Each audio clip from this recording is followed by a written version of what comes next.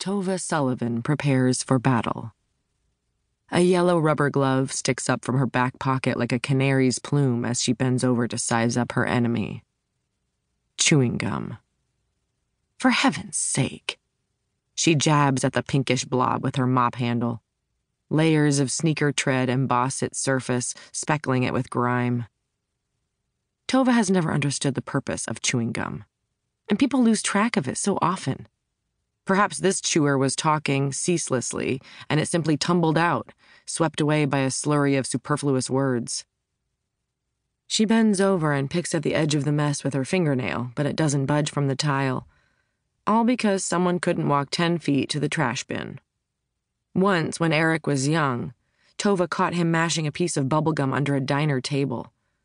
That was the last time she bought bubblegum for him although how he spent his allowance as adolescence set in was, like so much else, beyond her control.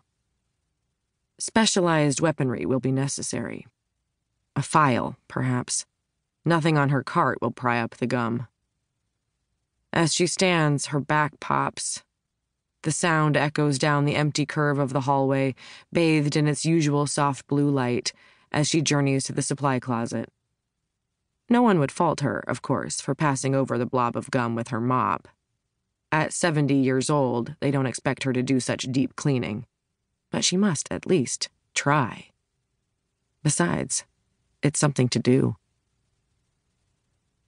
Tova is Sowell Bay Aquarium's oldest employee. Each night, she mops the floors, wipes down the glass, and empties the trash bins.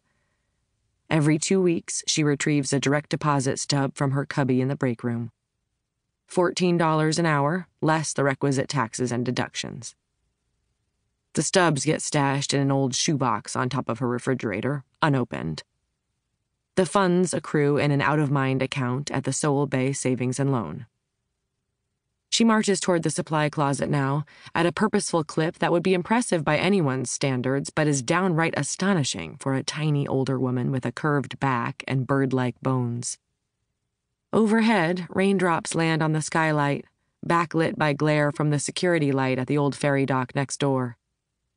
Silver droplets race down the glass, shimmering ribbons under the fog bound sky. It's been a dreadful June, as everyone keeps saying. The gray weather doesn't bother Tova, though it would be nice if the rain would let up long enough to dry out her front yard. Her push mower clogs when it's soggy. Shaped like a donut, with a main tank in the center and smaller tanks around the outside, the aquarium's dome topped building is not particularly large or impressive, perhaps fitting for Sowell Bay, which is neither large nor impressive itself. From the site of Tova's encounter with the chewing gum, the supply closet is a full diameter across. Her white sneakers squeak across a section she's already cleaned, leaving dull footprints on the gleaming tile. Without a doubt, she'll mop that part again. She pauses at the shallow alcove with its life sized bronze statue of a Pacific sea lion. The sleek spots on its back and bald head worn smooth from decades of being petted and climbed on by children, only enhance its realism. On Tova's mantel at home, there's a photo of Erik, perhaps 11 or 12 at the time, grinning wildly as he straddles the statue's back, one hand aloft like he's about to throw a lasso. A sea cowboy. That photo is one of the last in which he looks childlike and carefree.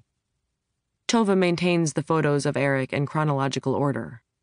A montage of his transformation from a gummy grinned baby to handsome teenager, taller than his father, posing in his leather jacket, pinning a corsage on a homecoming date, atop a makeshift podium on the rocky shores of deep blue Puget Sound, clutching a high school regatta trophy.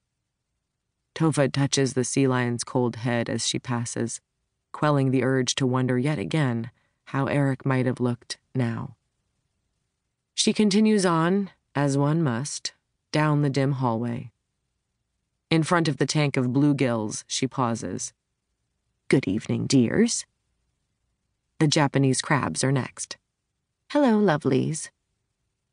How do you do? she inquires of the sharp nosed sculpin. The wolf eels are not Tova's cup of tea, but she nods a greeting. One mustn't be rude.